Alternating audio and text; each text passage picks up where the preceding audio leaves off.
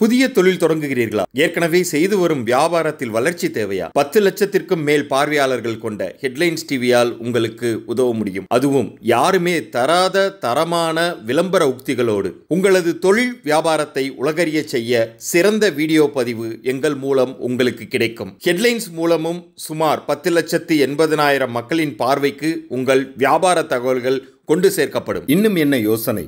சிந்திப்பதற்கு நேரமில்லை. சந்தர்ப்பங்கள் காத்திருப்பதில்லை. வாருங்கள் செயலில் இறங்கி சாதிப்போம். தொடர்புக்கு nine five double six zero double two six double nine. இன்னைக்கு நம்ம பார்க்க போகிற தலைப்பு மகர ராசி. நான் ஏற்கனவே சொல்லியிருக்கேன் பன்னிரெண்டு ராசிகளில் எனக்கு ரொம்ப பிடித்தமான ராசி என்பது மகர ராசி. மகர ராசிக்கு தனியான சிறப்புகள் என்பது நிறைய உண்டு. அதில் மரணத்திலிருந்து எழுந்து வரும் ஃபீலிக்ஸ் பறவை போன்றது மகர ராசி அப்படின்னு சொன்னால் நான் கொஞ்சம் கூட மிகைப்படுத்தி பேசலைங்க. உண்மையை மட்டும்தான் சொல்கிறேன் எப்பேற்பட்ட சூழ்நிலையிலும் வைராக்கியம் கொண்டு துளிர்த்து எழுந்து கொண்டு மறுபடி வெல்லும் மகர ராசி. எல்லா ராசிகளிலும் சில சில குணங்கள் உண்டு. அதில் யூஎஸ்பி யூனிக் பவர் அப்படின்னு சொல்லுவாங்க. அந்த மாதிரி யூனிக் செல்லிங் ப்ராடக்ட் அப்படின்னு சொல்லி ஃபியூச்சர்னு சொல்லுவாங்க.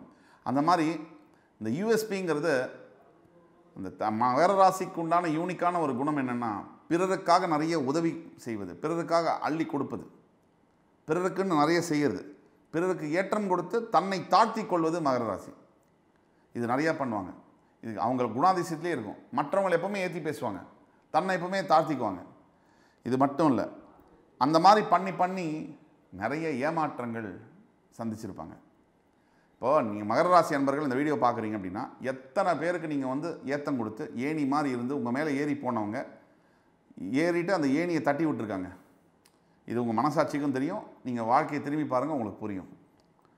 எல்லாத்துக்கும் மேலே இந்த ஏழரை சனி இப்போ ஜென்ம ராசியில் ரெண்டரை வருஷமாக இருக்கார் ரெண்டு வருஷமாக இருக்கார் இன்னும் ஒரு ஆறு மாதம் இருக்குது இந்த ஏழரை சனி உங்களை படுத்துகிற பாடு தொழில் முதல்ல சொல்லணும்னா தொழில். வேலை செய்கிறவங்களா இருந்தாலும் சரி வியாபாரம் செய்கிறவங்களா இருந்தாலும் சரி. தொழில் வந்து கம்ப்ளீட்டாக போச்சு மகர ராசிங்க. வேலை செய்கிறவங்க கூட இன்றைக்கி வேலை போயிடுமோ? இல்லை நாளைக்கு வேலை போயிடுமோ அப்படிங்கிற பயத்தோடு தான் நீங்கள் வேலை செய்வீங்க. தொழில் செய்கிறவங்க ஏன்டா இந்த வியாபாரத்தை செய்கிறோம் இதில் என்ன பலன் இருக்குது வெறும் பிரச்சனை தான்.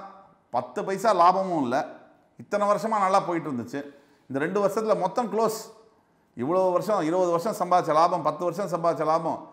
ரெண்டே வருஷத்தில் அவுட்டு ஆனால் அதில் ஏதாவது பிரயோஜனம் இருக்கா அப்படின்னு தினம் தினம் நினச்சி நினச்சி உங்களுக்குள்ளேயே துடிச்சு போயிட்டுருக்கீங்க இது தவிர கோச்சார ரீதியாக நான் ஏழரை சனியை பற்றி பேசணும். உங்கள் ஜனன ஜாதகம் பிறப்பு ஜாதகத்தில் ரெண்டு திசைகள். எந்த திசை வந்தால் உங்களுக்கு நல்லது? எந்த திசை வந்தால் உங்களுக்கு கெடுதல்? அதை பற்றி பேசுவோம். பொதுவாக மகர ராசிக்கு ராகு திசை நல்லது செய்யும். மேஷம் ரிஷபம் கடகம் கன்னி மகரம்.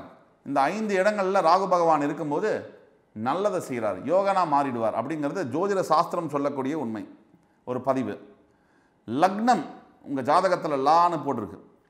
அந்த லக்னம் பிறப்பு ஜாதகத்தில் லக்னம் எங்கே இருக்கோ அந்த லக்னத்துலேருந்து மூன்று ஆறு பதினொன்று இந்த இடங்களில் ராகு பகவான் இருந்தாலும் யோக பலனை செய்வார் என்பது மறுக்க முடியாத உண்மை. அப்போ மகர ராசிக்காரர்களுக்கு உங்கள் ஜாதகத்தில் உங்கள் பிறப்பு ஜாதகத்தில் ராகு திசை இப்போ நடக்குதுன்னு சொன்னால் என்னென்ன மாதிரிலாம் யோகம் வரும்? முதல்ல வந்து திடிதிப்புன்னு சடனாக பார்த்தீங்கன்னா பெரிய லெவலில் யோகமாக வர்றது. இப்போ இல்லை ஏழரை சனி காலகட்டங்கள் இல்லை பொதுவாகவே ராகு திசை உங்களுக்கு நல்லது செய்யும்.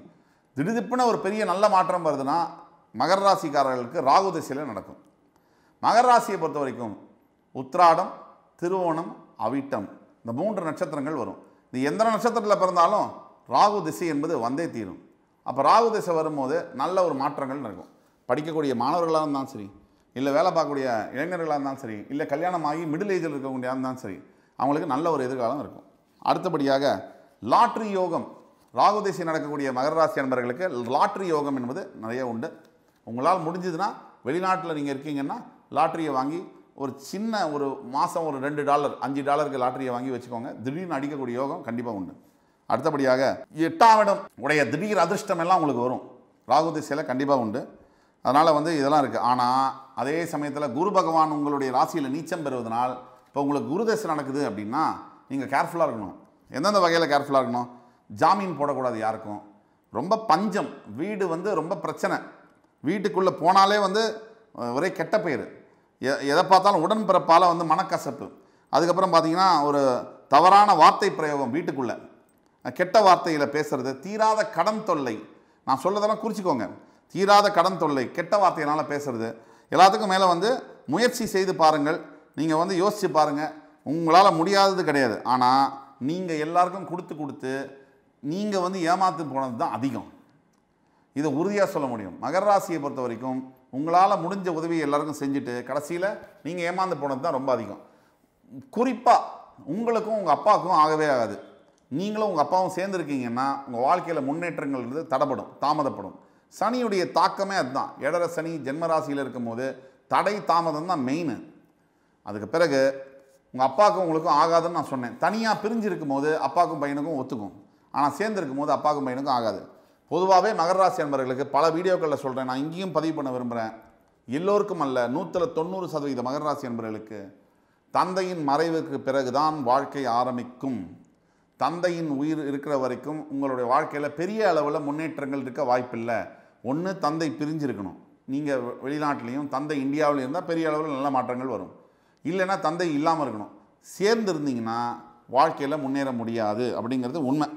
தவிர தந்தையினாலே உங்களுக்கு நிறைய அவமானங்கள் இருக்குது அப்பானால நிறைய அவமானங்களை மகர ராசி அன்பர்கள் பட்டிருப்பாங்க. ஆனால் அப்பா மேலே பிரியம் மட்டும் குறையாது மகர ராசி அன்பர்களுக்கு. அப்பா தான் தெய்வம். அப்புறம் சகோதரர்களால் வந்து நிறைய பிரச்சனைகள் சகோதரர்களால் நிறைய தொந்தரவுகள். ஏன்னா மகர ராசியில் குரு பகவான் நீச்சமாறார். அவரே இளைய சகோதர ஸ்தானத்துக்கு ஆட்சியும் பெறுகிறார். அதனால் சகோதரர்களால் சொத்து தகராறு பெரும்பாலும் மகர ராசி என்பவர்கள் சகோதரர்களால் சொத்து தகராறு மட்டும் வாயில் வந்து உங்கள் மனசை காயப்படுத்தக்கூடிய வார்த்தைகளை அள்ளி வீசுவாங்க. அடுத்தது வீடுங்கிறதே மகர ராசி என்பவர்களுக்கு பெரும்பாலான சமயங்களில் கல்யாணம் ஆகிறது முன்னாடி வரைக்கும் நான் கல்யாணம் ஆகிறதுக்கு அப்புறம் பிரிக்கிறேன்.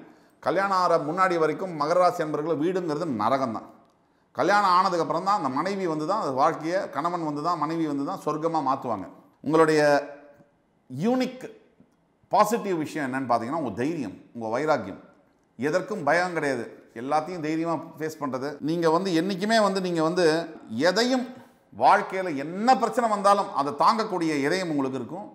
அதே மாதிரி எதையும் நீங்கள் சரி செய்யக்கூடிய வைராக்கியம் இருக்கும். சகிப்புத்தன்மைன்னு சொல்கிறோம் எதை ஃபேஸ் பண்ணாலும் அதை சகிச்சு அதை தாண்டி ஜெயிக்கிறது. இது வந்திருக்கு. ஏழரை சனினால் நீங்கள் பட்ட அவஸ்தையெல்லாம் நிறையா பேசிட்டோம். தனிப்பட்ட உங்கள் ஜாதகத்தில் என்ன திசைங்கிறத பற்றி தான் பேசணும் இப்போ. ஏழரை சனினால் நீங்கள் பட்ட துன்பங்கள் பட்டுக்கிட்டு இருக்கிற துன்பங்கள் ராகு திசை வந்தால் நல்லாயிருக்கும் கொஞ்சம். குரு திசையாக உங்கள் வாழ்க்கையில் நடக்குதுன்னா அது ப்ராப்ளமாக இருக்கும். தனிப்பட்ட உங்கள் ஜாதகத்தில் என்னென்ன விஷயம் இருக்குங்கிறத நீங்கள் கன்சல்டேஷன் பண்ணி தான் பார்க்கணும். அதை நாங்கள் பார்த்துறோம். ஆனால் பொதுவில் மகர ராசி அன்பர்களுக்கு எப்போ பாரு உங்களுடைய லாபத்தில் வந்து தடை இருக்கும். ஏழரை சனி வந்தாலே லாபத்தில் தடை வந்துடும். லாபம்னா இன்கம் இன்கம் வர இடத்துல ப்ராப்ளம் இருக்கும். அது தவிர உங்களுடைய ஜாதகத்தில் உங்களோட அஞ்சாம் இடத்துல கேது இருக்கக்கூடாது. ரிஷபத்தில் அப்படி இருந்தாருன்னா ரொம்ப கஷ்டம். லைஃப் லாங் ப்ராப்ளம் உங்கள் ஜனன ஜாதகத்தில் ஐந்தாம் இடத்துல கேது இருக்கக்கூடாது. அப்படி இருந்தாருன்னா அவரை குரு பார்வை இருக்கணும். இந்த இதெல்லாம் ரொம்ப நோட் பண்ணணும். உங்கள் தனிப்பட்ட ஜாதகத்தை பார்த்தா தான் முழுமையான ஒரு விஷயத்தை சொல்ல முடியும். இப்போ கோச்சார ரீதியாக நீங்கள் அவஸ்தை மேலே அவஸ்தைப்படுறீங்க. உங்களை விடுபட வைக்கணும்னா உங்கள் பிறப்பு ஜாதகத்தை பார்க்கணும். அதை டீகோட் பண்ணால் தான் உங்களோட ஃப்யூச்சரை வந்து எப்படி வந்து சரியாக கொண்டு போகலாம் ட்ரான்ஸ்ஃபார்ம் பண்ணலாம் அப்படிங்கிறத நம்ம சொல்ல முடியும். தவிர புத்திர சிக்கல் அதாவது பசங்கள்னால தொந்தரவு அஞ்சாம் பாவத்தில் கேது இருந்தால் அதே மாதிரி டாக்குமெண்டேஷன் பத்திரத்தில் ஏகப்பட்ட மாறுதல்கள் போய் ப்ராப்பர்ட்டி இழந்தவங்க வரைக்கும் நிறைய பேர் இருக்காங்க. என்கிட்ட வரவங்களே நிறைய பேர் வந்து டாக்குமெண்டேஷன் பத்திர பத்திரத்தில் சிக்கல். டாக்குமெண்ட் பேப்பரில் ஏகப்பட்ட ப்ராப்ளம் இருக்கக்கூடிய மகர ராசி அன்பர்கள் நிறைய பேர் இருக்காங்க. சொத்து தகராறில் இருக்கக்கூடிய மகர ராசி அன்பர்கள் எண்ணற்ற அளவில் இருக்காங்க.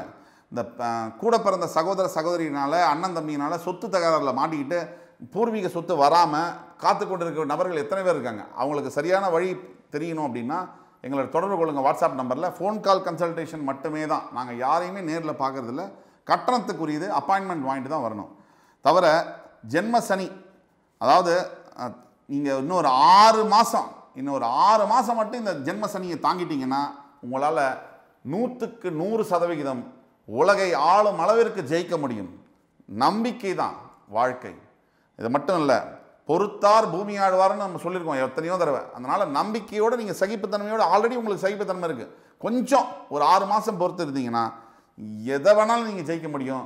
நீங்கள் சம்பாதிச்ச அத்தனையும் உங்களுக்கு சே திருப்பி வந்து சேரும். உங்கள் தங்கம் உங்கள் கைவிட்டு போகாது.